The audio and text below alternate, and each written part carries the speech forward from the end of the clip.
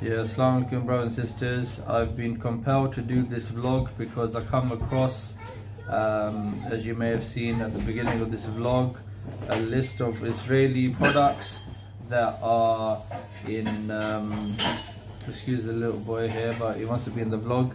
Let's see here, um, that are currently being sold by um, Israel, who we're not aware of these brands and companies and I think it's important to highlight that because they are well bought among um, around the Muslim world.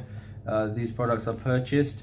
Um, I'm gonna just go through uh, some of the uh, products that are here that you may or may not be aware of. Uh, uh, the, the, let's start off with uh, sports brand. You can see I'm wearing Adidas, and I thought it was German.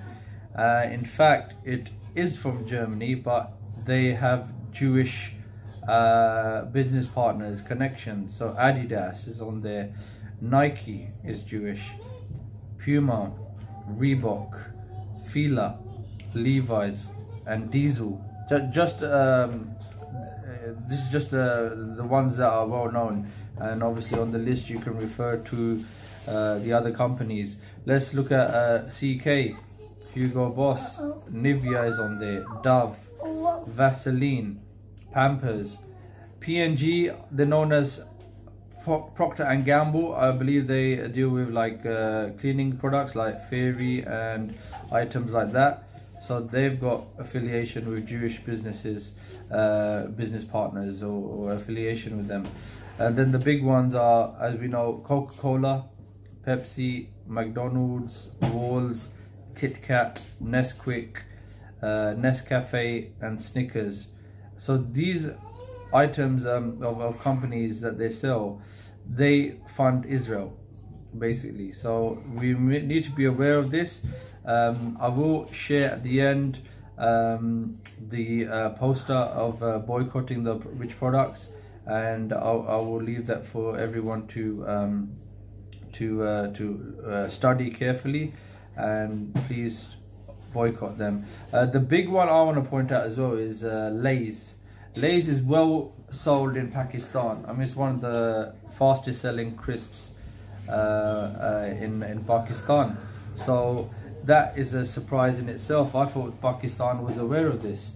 But uh, clearly the Pakistani Awam is not aware and uh, they should be made aware of this, that Lay's is a Jewish affiliated company and um, they should be boycotted. Um, I don't understand why Muslim countries are not making their own products. They should.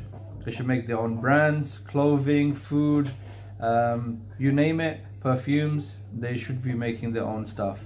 They shouldn't be relying on uh, these uh, products that clearly fund Israel and uh, making them millions and millions every year. And this has to stop um, and we should be looking to uh, help our brothers and sisters in Palestine and Kashmir. And in, and you know we should uh, be supporting them financially as well like the these companies do for Israel. Uh, I'm not trying to make this into a um, how can I put it? Like you know them and us situation but it's just for information purposes that I'm sharing this. And uh, inshallah um, you know things will get better, much better for the Palestinians because we are praying for them every day and for Kashmir as well and for wherever uh, Muslims are being persecuted and uh, killed for being Muslim. Thank you very much for watching. Please share and circulate as wide as you can. Thank you.